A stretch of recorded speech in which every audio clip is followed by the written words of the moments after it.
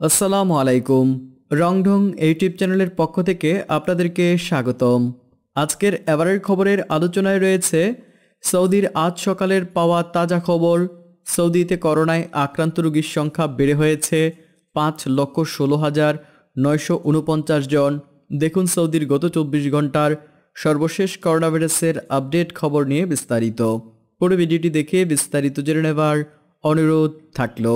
Saudi আরবে গত চব্বিশ ঘন্টায় আবারও বেড়েছে করোনায় আক্রান্ত রোগীর সংখ্যা।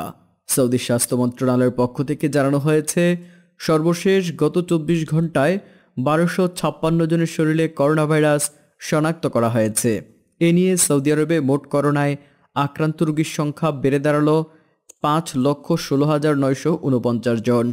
তাছাড়া সৌদির স্বাস্থ্য মন্ত্রণালয়ের পক্ষ থেকে আরও জানানো হয়েছে যে, আক্রান্তদের মধ্য থেকে গত চব্বিশ ঘন্টায় এগারোশো পঞ্চান্ন জন আক্রান্ত রোগী সুস্থ হয়ে বাড়ি ফিরেছে। এ নিয়ে সর্বমোট চার লক্ষ সাতানব্বই হাজার নয়শো পঁয়ষট্টি জন করোনায় আক্রান্ত রোগী সুস্থ হয়ে বাড়ি ফিরে গেছে। অন্যদিকে গত চব্বিশ ঘন্টায় সৌদি আরবে করোনায় আক্রান্ত রোগী মারা গিয়েছে চোদ্দ জন।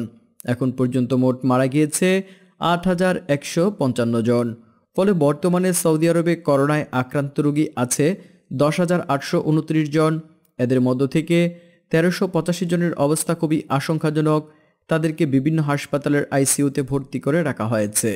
তো চলুন এবার জেনে নেওয়া যাক, গত চব্বিশ ঘন্টায় সৌদি আরবের যেই সকল এলাকাতে সর্বোচ্চ সংখ্যক করোনায় আক্রান্ত রোগী শনাক্ত হয়েছে তা হল রিয়াদে দুইশো আশি জন, মক্কাতে দুইশো চুয়াল্লিশ জন, পূর্বাঞ্চলে একশো সত্তর জন, আসিরে একশো পঞ্চাশ জন, জাজানে একশো সাত জন, আল কাসিমে তিরাশি জন মদিনাতে উনষাট জন, হাইলে সাতচল্লিশ জন, নাজরানে একচল্লিশ জন, উত্তরাঞ্চলে পঁচিশ জন, তাবকে তেইশ জন, আলবাহাতে একুশ জন, আলজৌফে ছয়জন করোনায় আক্রান্ত রোগী।